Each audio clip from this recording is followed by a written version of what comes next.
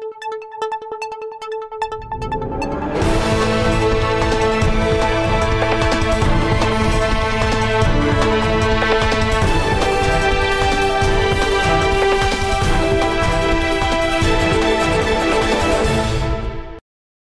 Посилення карантинних обмежень, земельні сутички, Карпати неймовірні. Про це та не тільки. Дивіться в програмі «Сім днів. Мої вітання. В суді працює Світлана Комлєва.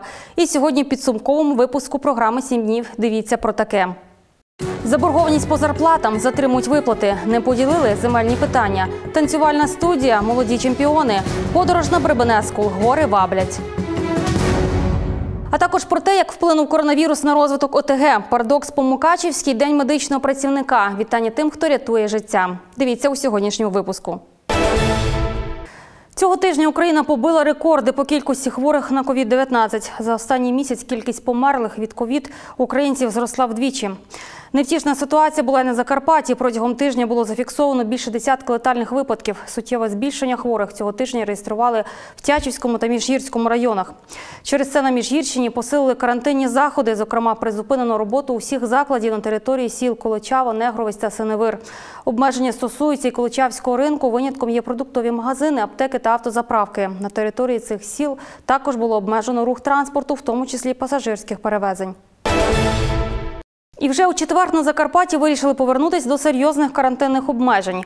Відповідне рішення прийняла обласна регіональна комісія з питань техногенно-екологічної безпеки та надзвичайних ситуацій. Комісія вирішила заборонити на всій території області до покращення ситуації та прийняття окремого рішення проведення масових культурно-розважальних заходів. Заходів, пов'язаних з весіллям за участі більше 10 осіб, проведення поминок та ритуальних заходів з поховань померлих за участі більше ніж 10 осіб у приміщеннях та 20 осіб на відкритому повітрі, роботу спортивних залів, фітнес-центрів, тренажерних залів та проведення спортивних заходів на стадіонах з кількістю учасників більше 20 осіб роботу закладів дошкільної освіти, роботу басейнів, спа-зон та розважальних закладів, роботу ресторанів, кафе, інших закладів харчування у закритих приміщеннях, міжобласні пасажирські перевезення автомобільним транспортом. Також в області відновили роботу контрольно-пропускного пункту на Абранському перевалі з проведенням температурного скринінгу тих, хто в'їжджає на територію області. Кабінет міністрів України продовжив дію адаптивного карантину до 31 липня. Про це повідомив прем'єр-міністр Денис Шмигаль на засіданні уряду. Сьогодні маємо найбільше число хворих за весь час пандемії в Україні. За словами прем'єра, уряд розуміє, що українці втомились від карантинних обмежень, але коронавірусна загроза нікуди не поділась. Шмигаль також підкреслив, що масковий режим, соціальна дистанція, дезінфекція це прості речі, які дозволять вберегти своє життя та захистити інших до моменту, поки не буде винайдено хоча б один ефективний протокол лікування COVID-19. 22 та 29 грудня 2019 року в Україні в майже 100 ОТГ відбулись перші вибори. Пройшли вони на Закарпатті в дев'яти громадах. Всім відомо, наскільки складно процес децентралізації проходив в нашій області, наскільки довго ми йшли до об'єднання. Адже люди покладали чималі надії на обіцяне фінансування новостворених ОТГ. Однак через карантин з держбюджету обіцяних коштів немає. Детальніше про становище цих громад дивіться далі. За час карантину наша область недоотримала десятки мільйонів гривень надходжень до бюджету. Однак чи не найгіршому становищі опинилися об'єднані територіальні громади, в яких у грудні 2019 року відбулися вибори. На Закарпатті таких дев'ять. Напевно, не варто нагадувати, яким складним був шлях до створення ОТГ в нашому регіоні попередні роки. Наприклад, саботаж з боку керівництва ОДА. І от коли здавалося, все найважче позаду, і нова влада сприяє, перспективний план прийнятий, і вибори відбулися, втрутилися в форс-мажорні обставини. Всім е, покладали надії, е, що наша громада вже об'єднана, скористається всіма перевагами, які, е, якими користувалися перед тим об'єднані громади. Тобто це і підтримка держави, і прямі міжбюджетні відносини, і субвенція на розвиток інфраструктури ОТГ. На жаль, після виборів цього всього не відбулося. Напевно, коронавірус вніс свої корективи. Гроші, які мали йти на розвиток та підтримку ОТГ, спрямували на боротьбу з COVID-19. Враховуючи те, що наша громада є найбільшою сільською об'єднаною територіальною громадою зі створених на Закарпатті на даний час, тобто ми не отримали близько 3,5 мільйонів інфраструк... субвенцій на розвиток інфраструктури нашої громади. Ну і е, взагалі, е, в зв'язку з тим, що відкладено перехід на прямі бюджетні відносини. Е, З державним бюджетом наша громада не може завершити реорганізацію, тобто ми фактично виконуємо три бюджети тих громад, які входять е, до нашої об'єднаної територіальної громади. Про незручності від переходу на прямі міжбюджетні відносини та збитки від цього говорить і очільник Великоберезнянської ОТГ Богдан Кирлик. ми не перейшли на прямі бюджетні відносини. І так само воно з свого боку зменшує нашу фінансову спроможність навіть е, в плані боротьби з, е, з коронавірусом, або з можливістю закупівлі певного обладнання, навіть як субвенція для нашої лікарні. Тому що ми як мали свій бюджет, такий бюджет і лишився. Ми втратили не менше втратимо не менше за рік 27 мільйонів гривень податку на доходи фізичних осіб, які мали би нам піти в громаду. Богдан Кирлик констатував, що жителі ОТГ дуже розчаровані, адже покладали на об'єднання чималі надії. Ми йшли на вибори лише із-за того, щоб покращити фінансову спроможність нашої громади. Мало того, е, ми подавалися на фонд державний фонд регіонального розвитку. Один проект, який життєво необхідний для Великого Березного, це каналізація, каналізування частини селища, е, де мали долучити допаятися, долучитися до тої системи і школа-інтернат, яка в Великому Березному. Через те, що зняли кошти із е, зменшили бюджет Державного фонду регіонального розвитку, наш проект не був оцінений і, напевно, в цьому році реалізовуватися не буде. Чимало своїх планів через врізання коштів на розвиток ОТГ довелося відкоригувати, а деякі скасувати в Горондівській об'єднаній територіальній громаді. Лише субвенції на розвиток інфраструктури сюди повинно було надійти більше півтора мільйона гривень. Ми на неї розраховували мільйон 670 тисяч. І ми хотіли от зробити паралельно ці дві вулиці капітальний ремонт. Її 100% зняли. Ми працюємо з паралельними бюджетами, які були затверджені поперед... е, депутатськими попередніми сесіями, тобто до 25 грудня 2019 року. Тому маємо паралельні штатні одиниці, йде процес реорганізації, маємо паралельні бюджети. Ми не маємо ні освітньої субвенції, ні медичної, ні ПДФО, тому що все залишилося в районі. Щодо прогнозів виходу ситуації, то їх не береться робити жоден очільник ОТГ. Відомо лише те, що найближче чотири місяці до виборів у жовтні щось змінити навряд чи вдасться. Десь попередній прем'єр обіцяв, що в першому кварталі попробують ці 86 об'єднаних територіальних громад, бо саме стільки їх було по всій Україні. У нас в Закарпатті було 9, які у грудні мали вибори. І цей е, новий прем'єр Шмігаль теж, але коронавірус, комітет, регламент, внесення змін і прийняли рішення, що все ж таки ці громади дотягнути до чергових виборів осінню. Осінню по всій території на новій територіальній основі пройдуть вибори, а вже із наступного бюджету 2021 року всі підуть на прямі бюджетні відносини. Болючою темою для краян залишаються дороги. Із заяв чиновників ми чуємо про масштабні роботи з ремонту та кошти, які на це витрачаються. Те, що дороги ремонтують, позитивний крок, і громадяни давно цього чекали. Однак, зважаючи на те, наскільки колосальні кошти витрачають на ремонт, чи можна говорити про їх якість? Платників податків цікавить, наскільки якісно виконані ремонтні роботи, чи не доведеться на це витрачати повторно кошти, які могли піти на розвиток інших об'єктів. Свого часу голова ОДА Геннадій Москаль говорив про потужні дорожні і приватні організації, які зайшли на ринок Закарпаття. Асфальтобетонні заводи, їх великі можливості. Серед них товариство ОНУР Конструкціон Інтернешнл, яке влітку 2017 року виграло тендер на поточний середній ремонт автомобільних дорог державного значення Т-0718 Нижні ворота Воловець Міжгір'я. Ціна пропозиції учасників після закінчення аукціону склала майже 411 мільйонів гривень. Протягом двох будівельних сезонів відремонтовано 29 кілометрів, однак вже за два роки на новому покритті утворилися тріщини та просадини. Відремонтована товариством ОНУР дорога вже третій рік без підсипаних узбіч, не встановлені дорожні знаки та необхідне огородження. Як то має бути у гірських умовах задля безпеки громадян? Питання про якісний ремонт наразі залишається відкритим. Яким чином і ким здійснюється контроль якості доріг, за які кошти і коли будівельна компанія усуне дефекти, які помічають навіть непрофесіонали. Вони повинні відлагодити. Якщо навіть щось таке було, якщо вони ну щось вони неправильно зробили. Комітет Верховної Ради України погодив створення окремого Рахівського району. Профільний комітет Верховної Ради погодив проект нового районування Закарпатської області з окремими Рахівським та Тячівським районами. Як повідомив голова Закарпатської ОДА, наша позиція була однозначною. Рахівський район гірський, згідно європейських практик та української методики проектування районів, має бути окремою адміністративно-територіальною одиницею.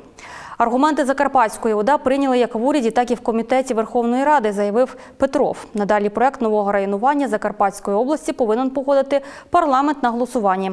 Народний депутат Василь Петьовка висловив подяку всім, хто доклав зусиль для збереження Рахівського району як окремої адміністративно-територіальної одиниці. Зокрема, усім жителям Рахівщини, які проявили свою активну позицію. Голові Закарпатської ОДА Олексію Петрову, прем'єр-міністру Денису Шмигалю, народним депутатам України, які працюють в комітеті Верховної Ради з питань місцевого самоврядування, та всім, хто зумів відстояти найбільш високогірний район України як окремий. Нагадаємо, попередньо йшлося про п'ять районів, які б мали зберегти після адміністративної реформи у Закарпатті: Ужгородський, Мукачівський, Хуський, Бергівський, Тячівський. В уряді та Верховній Раді дослухалися до аргументів Закарпатті про те, що Рахівський має залишатися як окрема адміністративно-територіальна одиниця. Ну, цього тижня відбулось засідання Верховної Ради України. Протягом цього сесійного тижня у Верховній Раді ухвалили ряд важливих законопроєктів. Серед них про референдум за ініціативи населення, про зміни у навчальному році та про порядок виплат аліментів. Участь у роботі Верховної Ради взяли і народні депутати від Закарпаття Василь Петьовка, Валерій Лунченко, Роберт Горват та Владислав Поляк.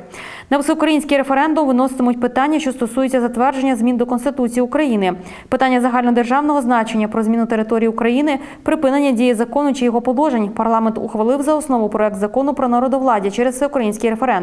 Щодо змін про завершення 2019-2020 навчального року, то йдеться про визначення тривалості навчального року в умовах карантину, а також про те, що учні мають право обирати оцінювання їх знань через ЗНО або шляхом річного оцінювання або державної підсумкової атестації. Ухвалили народні депутати і закон, що допоможе отримати аліменти від боржників, обчислення розміру аліментів через індексацію та без звернення стягувача до суду. Випускників шкіл звільнили від підсумкової атестації у 2020 році, але не скасували ЗНО. Верховна Рада ухвалила законопроект номер 3669, який звільняє випускників шкіл від проходження державної підсумкової атестації через пандемію коронавірусу, але не звільняє від зовнішнього незалежного оцінювання тих, хто вступатиме в українські виші. За проголосували 356 депутатів. У МОН пояснили, що якщо законопроект ухвалять, учні, які не планують вступати, не мали би складати державну підсумкову атестацію окремо в школі. Їм повинні виставити бали на основі попередніх оцінок та видати атестат.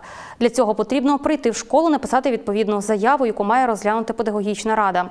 Це потрібно зробити одразу після ухвалення закону до початку ЗНО, тобто до 25 червня. Якщо ж учень все-таки вирішить скласти ЗНО, йому просто потрібно прийти у пункт тестування у визначений час. Мукачівські депутати на позачерговій сесії прийняли рішення щодо реорганізації шляхом злиття двох мистецьких шкіл дитячої школи мистецтв номер 1 імені Святого Мартона та Мукачівської дитячої школи мистецтв номер 2 У міській раді запевнили, що робочі місця будуть збережені, а керівника та адміністрацію будуть обирати шляхом голосування. Депутати ж поцікавили, що чекає на будівлю, якій зараз знаходиться дитяча школа мистецтв номер 1 після реорганізації. На сьогоднішній день ще не визначено, але я думаю, що однозначно вулиця Грушевського, так, вулиця Грушевського, я думаю однозначно, що буде винесено питання про продаж для того, аби дані кошти вкладати в культуру, тому що в нас є багато об'єктів, які потребують капітальних. Одноголосно депутати також прийняли рішення про передачу комунального майна у зв'язку з ліквідацією відділу охорони здоров'я. Мова йде про передачу майна це офісні меблі, обладнання, комп'ютерна техніка, сканери і так далі. Загальна вартість майна становить 209 тисяч 391 гривень. Рішенням депутатів також вирішили внести певні зміни до бюджету Мукачівської ОТГ на 2020 рік. Перерозподіл обсягу бюджетних призначень по загальному та спеціальному фонду бюджету зменшити призначення по відділу охорони здоров'я на загальну суму 22 мільйони 749 тисяч 877 гривень 95 копійок у зв'язку з ліквідацією цього відділу та відповідно збільшити бюджетні призначення по виконавчому комітету Мукачівської міської ради на цю суму а також затвердити зміни до розподілу коштів бюджету розвитку за об'єктами та зміни до переліку місцевих програм, які фінансуються за рахунок коштів міського бюджету. Зважаючи на резонансну інформацію стосовно кредиту у 100 мільйонів гривень, який планує взяти керівництво Мукачівської міської ради, проте й досі залишається незрозумілим, на що витратять кошти та чому необхідно взяти кредит саме на таку суму. Тим часом у Мукачеві місцеві все частіше задаються питанням, як розпоряджається коштами платників податків місцева влада, на що їх витрачає та чиї результати. Тож чи дійсно Мукачево безпечне місто та куди йдуть кошти з місцевої казни, дивіться у сюжеті.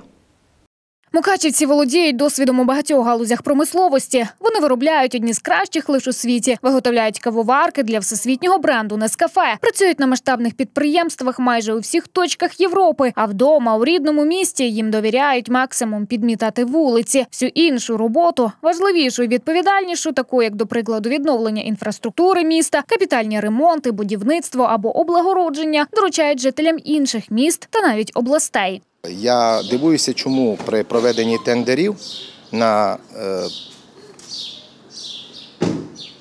проведення е, реконструкції е, капітальних поточних ремонтів об'єктів, які фінансуються з міського бюджету, не приймають уча- участь або не є переможцями е, фірми, які зареєстровані в місті Мукачево або на Мукачівщині. Е, Якщо е, назвати, що за фірми виграють тендер, то це фірми Хмельниччини, це фірми Чернігівщини, це фірми Тернопільщини, Івано-Франківщини, Львівщини.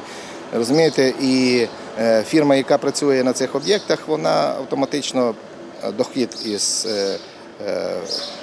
податок з доходу фізичних осіб сплачує по місцю реєстрації.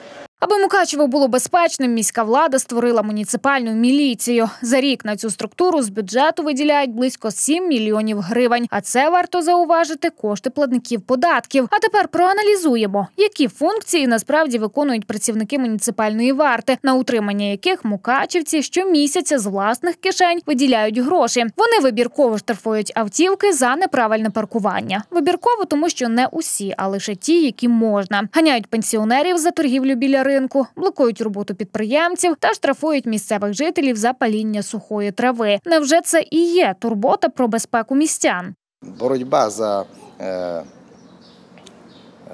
порядність, е, за культуру, за добробут наших містян. Я не бачу, щоб у цьому приймала участь муніципальна інспекція.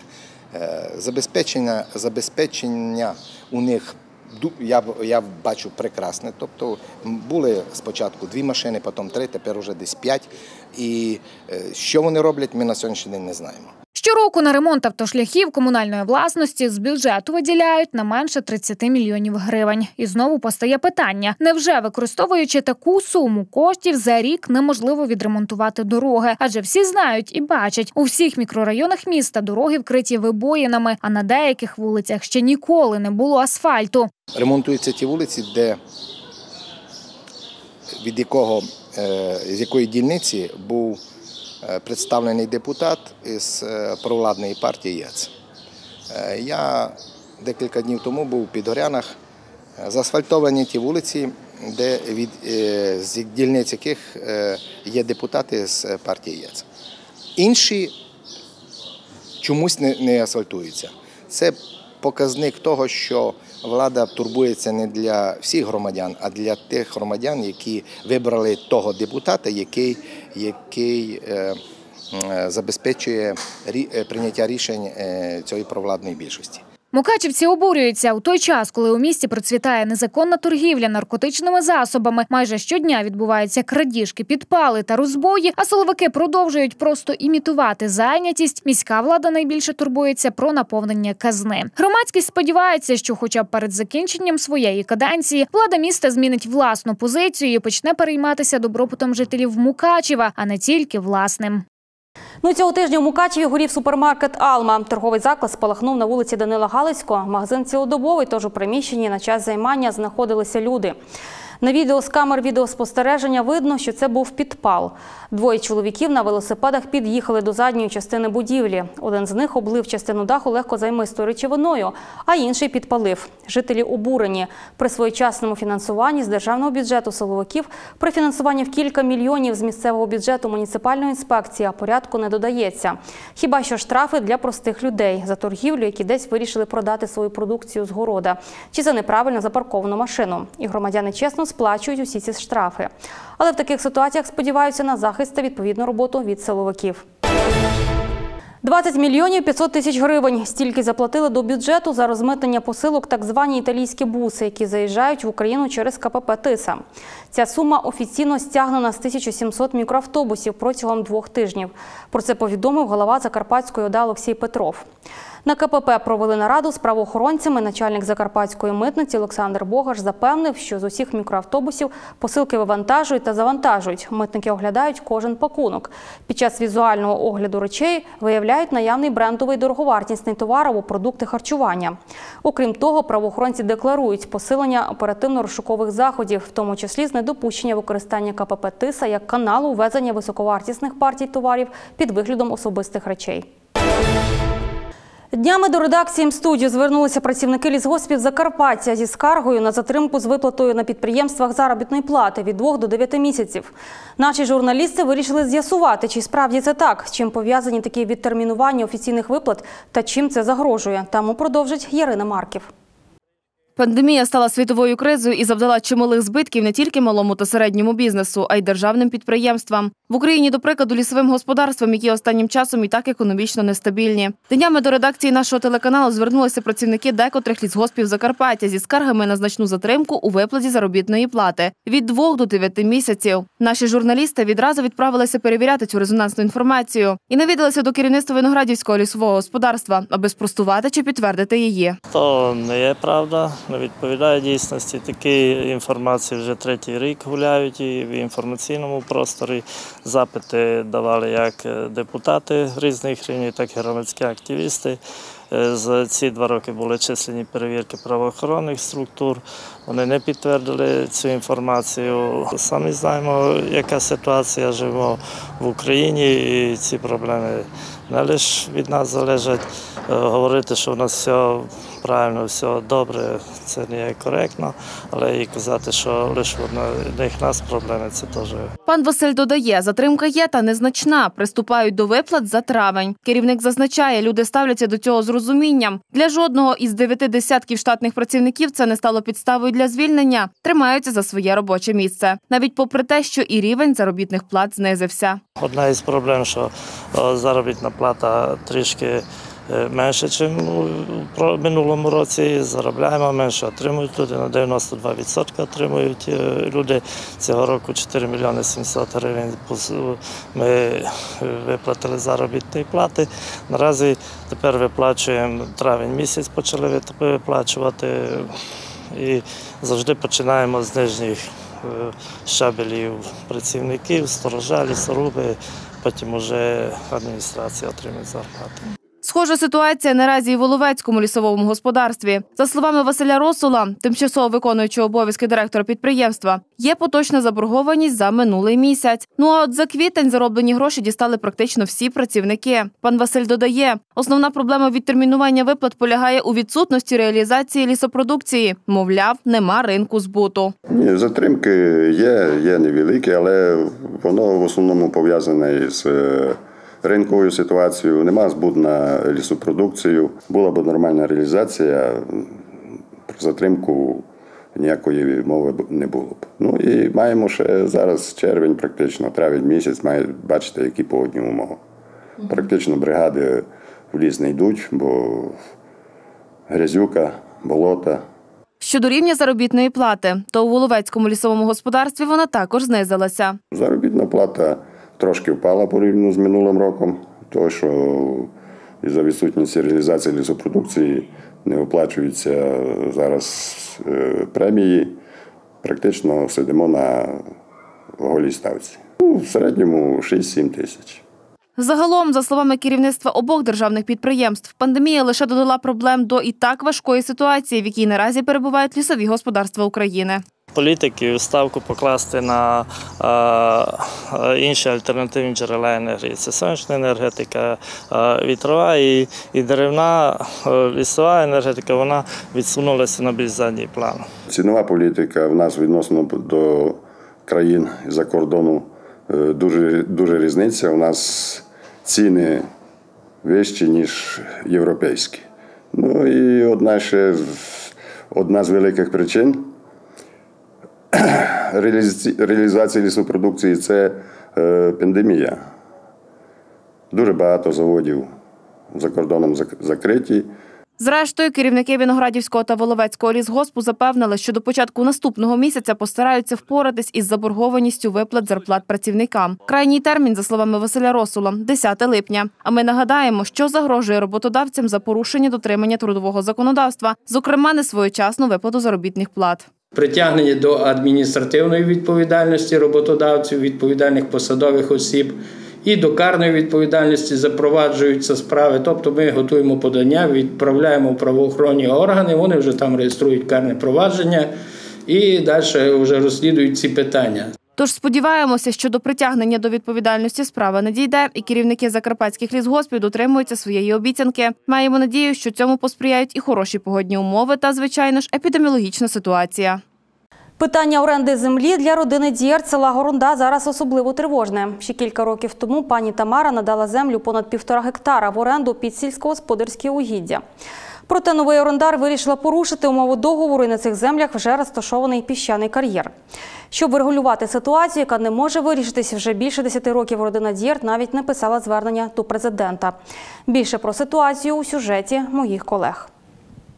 Вже багато років тривають сутички навколо земельної ділянки, яку в оренду здає родина Дєрть. Ще кілька років тому пані Тамара надала землю протяжністю 1,56 гектара в оренду під сільськогосподарські угіддя пані Оксані Біров. Проте жінка вирішила порушити умови договору, і на цих землях вже розташований піщаний кар'єр. І от цього тижня вже навіть пройшла екологічна комісія, яка мала переконатися у тому, що землі використовують не за призначенням і що це призводить до руйнації території. Екологічна служба прийшла, вони подивилися, там у двох-трьох словах нам розказали, що можуть, що не можуть. Як представник від фірми, є там його звати Руслан, Левко Руслан.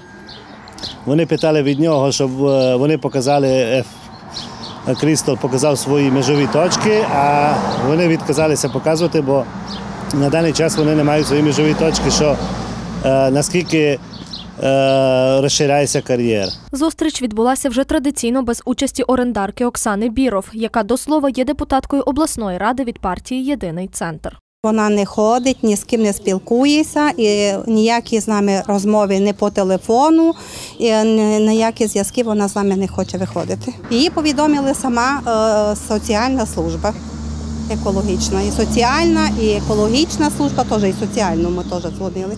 Те, що орендарі вже вийшли за встановлені договором оренди межі та порушили умови і використовують землі не за призначенням, підтвердили і фахівці. Розказувати, що нема встановлених меж, такої не можна говорити, якщо розумно до того підходити. Коли людина бере в оренду щось, значить вона бере з межами. Взяли Тамар Дьорч з межами земельну ділянку, так? знали, де точки, початок і де кінець.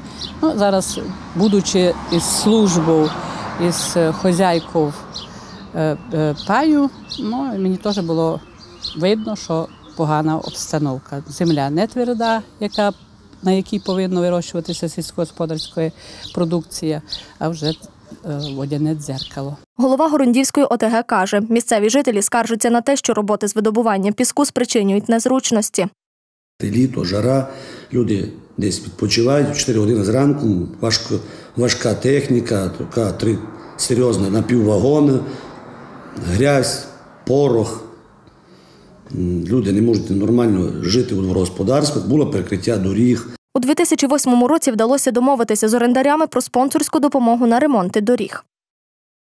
Це не сталося. Служба доріг розпочала робити вулицю Гагаріна, але як побачили, що їм не дали спонсорську допомогу, відмовилися і поїхали е, е, в область. Згодом вдалося з'ясувати, що родина Дєрть не єдина, у кого виникли земельні сутички з Оксаною Біров.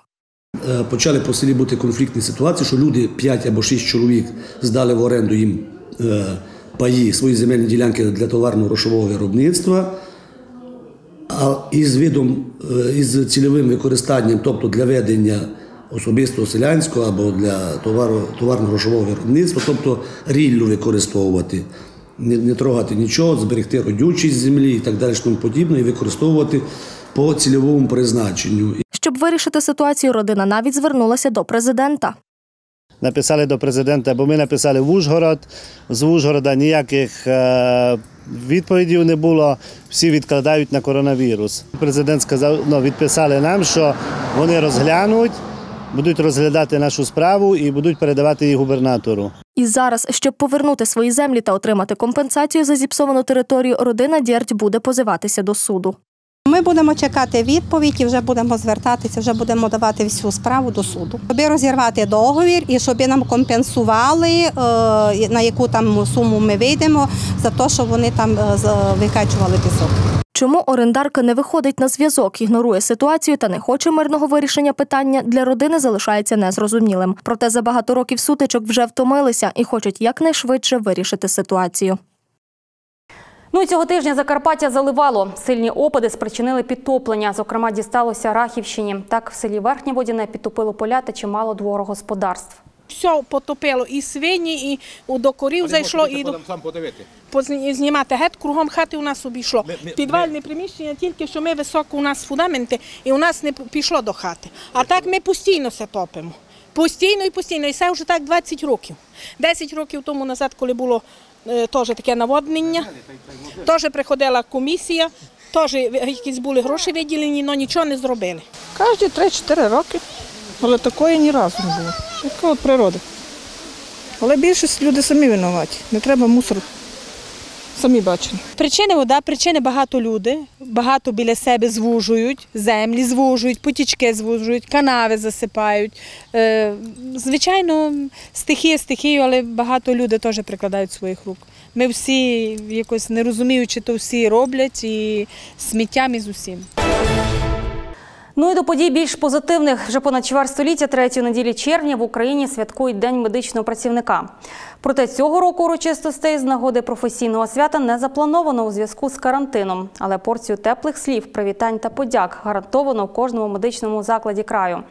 Наші журналісти теж не минули увагу свято та визнання професії людей в білих халатах. Детальніше про непросту працю закарпатських медиків та виклики, які зараз стоять перед медичною спільнотою краю, Ірина Ковальчук. День медичного працівника в Україні щорічно відзначають третьої неділі червня. Цього року це припадає на 21 число. Люди в білих халатах своє професійне свято відзначають починаючи з 1994 року. Проте традиція вшановувати медиків збереглася також у Казахстані, Молдові, Вірменії, Білорусі та інших країнах. Цьогоріч масових урочистостей з нагоди професійного свята медикам не влаштовуватимуть. В країні карантин і масові зібрання поки заборонені. Хіба що у мінімалістичному стилі у кожному медзакладі краю лунатимуть привітання. Проте це не означає, що закарпатських медиків не шанують краяни, і не тільки у день медичного працівника. Я чудово. У мене дуже багато друзів-медиків. Я дуже ціную, поважаю їхню роботу і те, що вони піклуються про своїх пацієнтів. Щоб е, медичну реформу довели до кінця, щоб у наших медиків була достойна зарплата, яка б могла їм е, ну, забезпечити повноцінне хороше життя, щоб вони могли займатися своєю роботою, а не думати про те, де їм взяти гроші. Завжди з повагою ставилася до цих людей. Завжди Е, вдячна їм за професіоналізм, особливо власне у ці важкі часи. Так, такі непевні часи Е, нам. е, Здається, що це все легко захоплююся їхньою роботою, особливо у цей період е, анти такий, не знаю, тяжкий карантинний, так, карантинні заходи.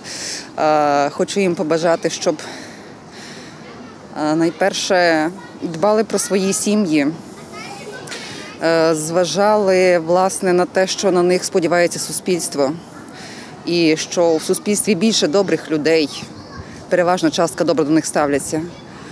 Дуже гарно їм дякую. Вітаю з ним медичного працівника. Усім медичним працівникам, яких я знаю. Привіт! Я бачу цей медфак, який закінчувала моя сестра старша. Вона закінчувала в 71-му році. Вона отримала тут освіту медичну, цінують навіть коли їй 73 роки. Побажати всім медикам хорошого здоров'я і щоб були вони успішні і працездатні до 100 років яких нам дуже не вистачає. Це не тільки на сьогодні, це професія вічна. Якщо не буде медиків, не буде людства, тому що воно просто-напросто вимре. Справді, професія медиків надважлива для суспільства. Для збереження здоров'я нації необхідні не тільки фахівці, лікарі, а й важлива праця лаборантів, медичних сестер, санітарок, словом, усіх медичних працівників. Це практично професія номер один у світі, оскільки людина народжується при медиках, живе з медичною допомогою. І на превеликий жаль і закінчує своє земний відрізок життя, також, як правило, при медиках. Тут лише одне: це йде від серця, це йде щиро, чи це якось е, є певні фальшивості. Тому дуже важливо для того, обираючи професію медика, потрібно розуміти, що ти повинен служити людям. А все інше це вторинне. Матеріальні речі, моральні речі це все потім. Потрібно служити людям. Професія медика це особлива професія, і е, не кожна людина може тут працювати. І особливо у критичних ситуаціях, такі як зараз, коли багато ковід інфекцій. Завжди медик виконує важливу роботу, Е, не дивлячись на те, що довгі роки е, десь понижався рейтинг медичних працівників, е, все рівно спільнота десь е, поважала е, медиків. Е, Кожен е, має свого доктора, до якого він відноситься з довірою. Е, І може, якщо він не піде до іншого, але той лікар є його лікарем. Справді, під час світової епідемії коронавірусу, як ніколи, стало очевидно, без надійної сфери охорони здоров'я люди самотужки не справляться з бідою. Ковід-19 став справжнім викликом і для медицини України. На кінець то суспільство, люди, мас-медіа в тому числі порозуміли, що медики надзвичайно потрібні. Потрібно їх берегти, потрібно їх нормально оплачувати. Потрібно дати нормальний мотив, якісно і справедливо виконувати свою функцію для суспільства, для людей. Потрібно е, використовувати всі передові досвіди. Давайте берімо берім приклад, наприклад, е, Словакію. Реально в Словакії вже епідемії немає. У них карантинні е, всі мероприємства майже звернуті. Але разом з тим, кожна людина, в тому числі і медик, і не медик, користується, не забуває, що таке маска, не забуває, що таке засоби індивідуального захисту, не забуває, що таке соціальна дистанція, не забувають е, рівень санітарної культури. Адже це те, що нам потрібно навчитися жити в майбутньому. Медики б'ють на сполох. У Закарпатті статистика невтішна. Люди не дотримуються норм карантину. Як наслідок, щодня кількість інфікованих коронавірусом зростає, і це додає навантаження на медперсонал лікарень, які приймають хворих на COVID-19. Як вони багато працюють. І працюють важко.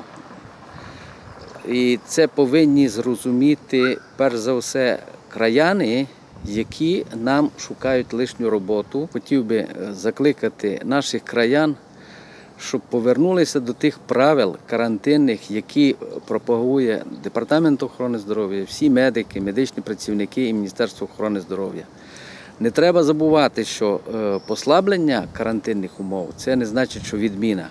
Ніхто не відміняв масочний режим, ніхто не відміняв миття рук з милом, е, соціальну дистанцію і використання, звичайно, е, деззасобів. Це основні правила, які можуть уберегти, і вони вберігають людей від зараження цією страшною інфекцією. Ще одне випробування для наших медиків реформа охорони здоров'я. Зміни на часі, проте проходять болісно і не завжди гладко. Це добре, але це складно. Але я бачу світло в кінці тунеля. Дуже важливо, щоб всі ми були разом, щоб медики розуміли, в якому стані є суспільство, а суспільство розуміло, для чого потрібні медики. Ця реформа вона в цілому справедлива і потрібна. Але щоб вона набрала такої форми, щоб це було зрозуміло для медиків і для немедиків також. Щоб не тільки е, слогани були в нас за безоплатність, бо ми почали працювати е, по, по новій системі оплати от, медичних закладів, уклавши договір з Національною службою здоров'я, а щоб це було наяву. Тому що тепер ми цього поки що не бачимо. Є заяви. От, а пацієнт бачить телевізор, читає пресу, і він це сприймає, що да, така заява була зроблена, значить я йду в заклад, і все має бути там мені в повній мірі дано. Але коли наяву так, не так, то негатив, на жаль, падає на того ж медика. Тобто тут ми маємо працювати, вся держава має працювати над тим, щоб медик не був заручником у цій ситуації. За службу охорони здоров'я, то треба сказати, що вона е, зараз не по всім правилам вона розвивається на Україні, тому що особливо це стосується інфекційної служби. Інфекційна служба завжди майже фінансується по залишковому типу. І, е, звичайно, е, у інфекційній службі, інфекційні стаціонари саме менше оснащені. Але я думаю, що думку е, Міністерства охорони здоров'я і е, місцеву владу зараз поміняє якраз виникнення цієї інфекції ковід. Відновлення престижності професії та підвищення заробітних плат одне із побажань медиків до головних реформаторів країни. Шкода, що у нас е, розумні лікарі, медсестри виїжджають за кордон із-за того, що не можуть забезпечити свої сім'ї на Україні. І, звичайно, ми багато як держава втрачаємо, е, тому що е, самі кращі кадри середнього віку, молоді люди, дуже багато їх виїхало за кордон. І там вони успішно працюють. Успішно працюють. Треба піднімати рейтинг медиків. От рейтинг в першу чергу має держава підняти. Е, Підняти тим, щоб заробітні плати тепер на первинці ми бачимо вже хороші, щоб заробітні плати підняти, щоб показати людям, що да, і медика держава, по-перше, поважає.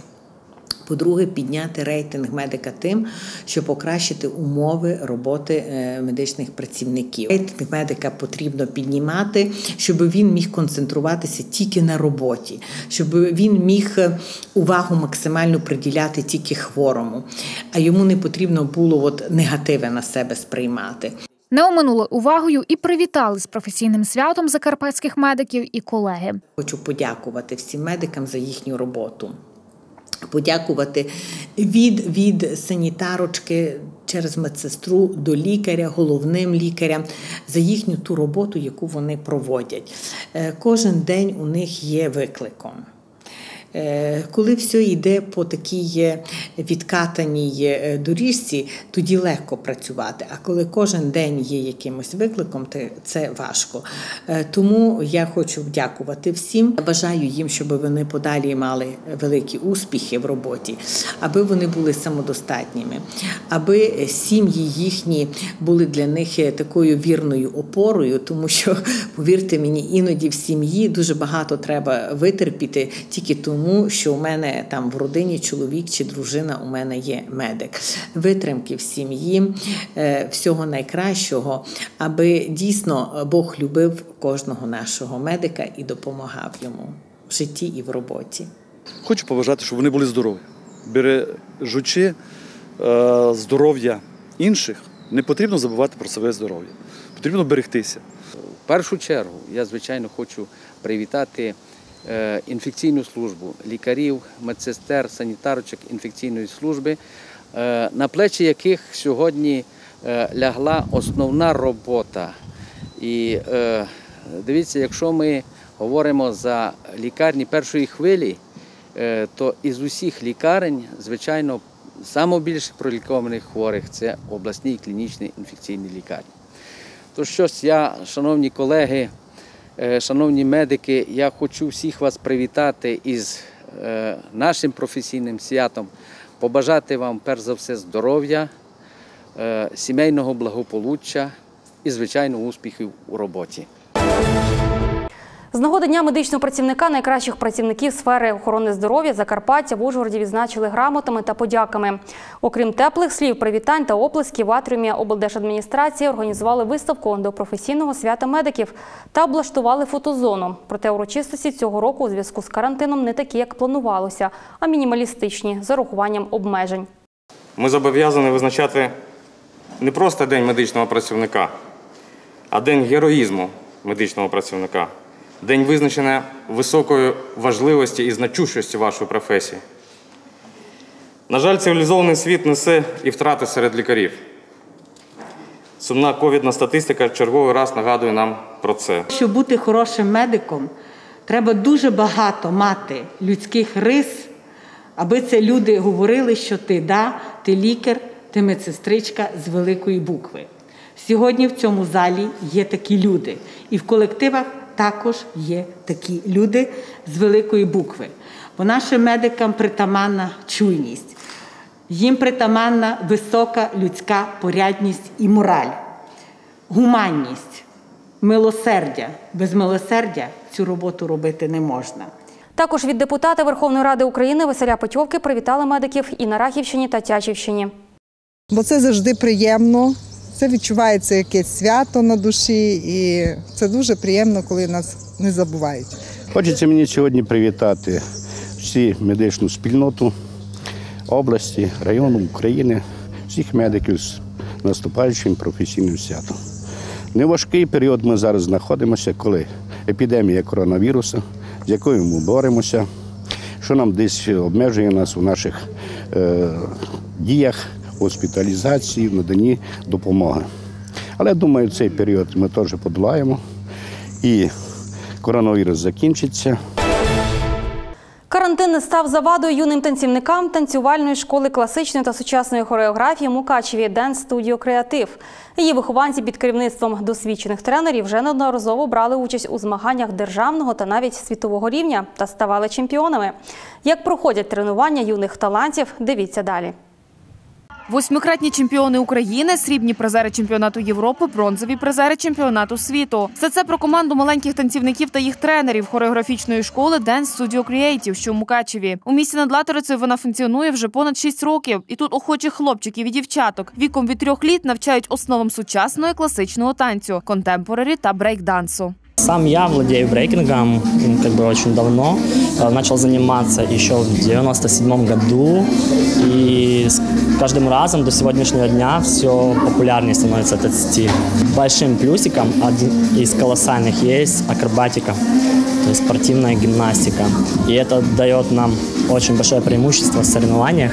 Владислав Штевко про свою кар'єру розповідає неохоче. Та насправді чоловік відомий у всій Україні. Свій творчий шлях почав із навчання у гуманітарно-педагогічному інституті МДУ по спеціальності музична педагогіка та виховання. Продовжив у Київському національному університеті культури і мистецтв. Працював із такими зірками шоу-бізнесу, як Наталя Могилевська, Ірина Білик, Гайтана, Тіна Кароль. Танцював у головному складі Freedom Ballet під керівництвом Олени Коляденко та співпрацював з Костянтином Томільченко. Неодноразово був членом журі різних конкурсів та змагань. Своїми знаннями із брейкінгу, яким займається понад 20 років, вирішив поділитися із маленькими мукачівцями і у 2013 році разом із Іриною Писаренко заснував студію Dance Studio Creative.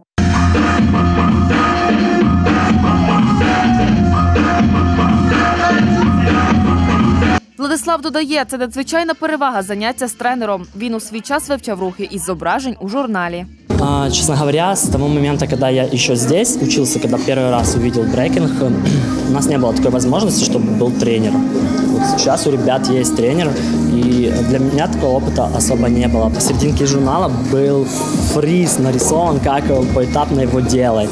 За короткий час Dance Studio Creative стала відомою у місті над Латорицею. Під керівництвом досвідчених тренерів маленькі танцівники неодноразово ставали чемпіонами різних конкурсів. Та перемоги це ніщо інше, як систематичні тренування. До прикладу, малеча із групи професіонали, яку власне ви зараз і бачите на екранах, займається по три години п'ять разів на тиждень. За словами Владислава, регулярні уроки хореографії не лише роблять діток більш сильними, витривалими, гнучкими і пластичними, а ще й дають змогу абстрагуватися від щоденних залежностей, зокрема від соцмереж, масового захворювання 21 століття. Ну а щодо коронавірусної епідемії, то навіть у час карантину вихованці Dance Studio Creative, аби не втратити форму, продовжували тренуватися. Щоправда, онлайн. Карантин, да, он поломал немножко нам дороги в разных событиях, соревнованиях. М, На самом деле для детей очень сложно делать большие перерывы, но мы в этом не остановились, мы продолжали заниматься, заниматься онлайн.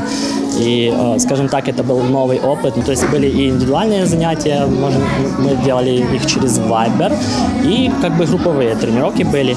А групповые тренировки, ну, каждый, естественно, был у себя дома, э, в Zoom-конференции, то есть подключались в одно время. Была группа, данная по возрастным категоріям. Ну, було важко займатися, бо по онлайну сильно не об'яснити.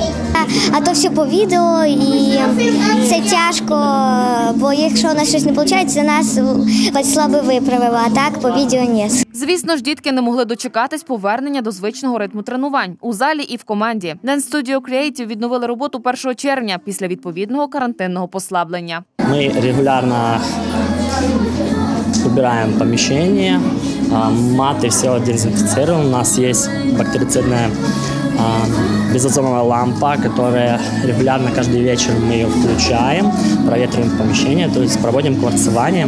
Ми не могли не виділити абзацу для розповіді діток про свої здобутки і перемоги. Кожної тренування ми піднімаємось на одну сходинку вище і йдемо до мети. Моя мрія це досягнути до ідеалу і отримати головну роль в одному із номерів.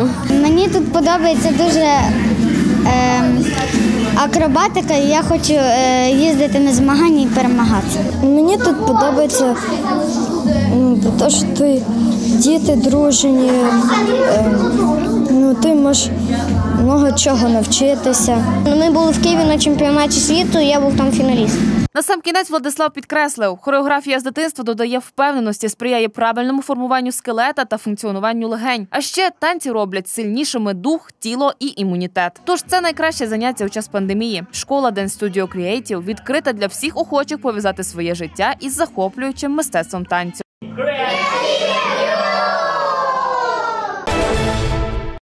Наш край ідеальний варіант для відпочинку у будь-яку пору року. Тут є все, що потрібно туристу. Та здається, найбільше Закарпаття вабить горами.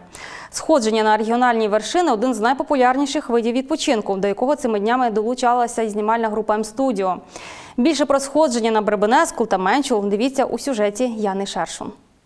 Гори ідеальне місце для відпочинку. Вікенд чи відпустка байдуже головне, що саме тут люди можуть відволіктися від міської метушні, галасливих натовпів та побути наодинці з природою. Одним з найпопулярніших гірських напрямків на Закарпатті є Рахівщина, і в нашому матеріалі ми розповімо про похід чорногірським хребтом. Протяжність маршрута від е, околиць е, села Луги складає 10-12 кілометрів. Якщо зробити під'їзд до полонини Лемської, то близько 4,5 кілометрів і з 2-2,5 години нешвидким темпом, середнім темпом можна досягнути цього місця, де ми зараз з вами знаходимося, і побачити це водне дзеркало льодовикового залишкового озера Бребенеску. Отже, наш маршрут розпочався з полонини Лемської. Звідси протягом двох з половиною годин ми просувалися до озера Бребенескул. І чим далі ми йшли, тим гарніші краєвиди перед нами поставали. Широкі полонини, стрімкі скелі, дзеркальні потічки, унікальні рослини. Тут на висоті більше тисячі метрів над рівнем моря. В червні квітнуть шафрани.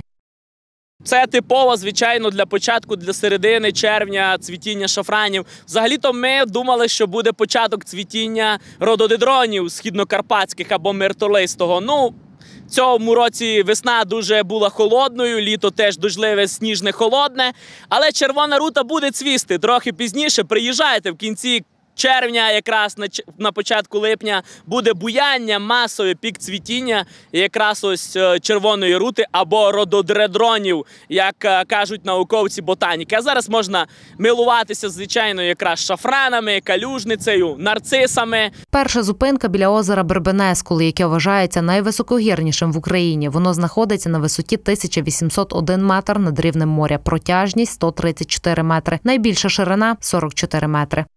Коли льодовик танув, це приблизно десь 10-11 тисяч років тому назад, наприкінці Кайнозовської ери, він нагорунув, звичайно, якраз ось цей вал, таку як дамбу. І в результаті, звичайно, ось цієї западини і утворилося озеро. Глибина його максимально досягає е, 180-190 сантиметрів у період такої повноводності, як зараз.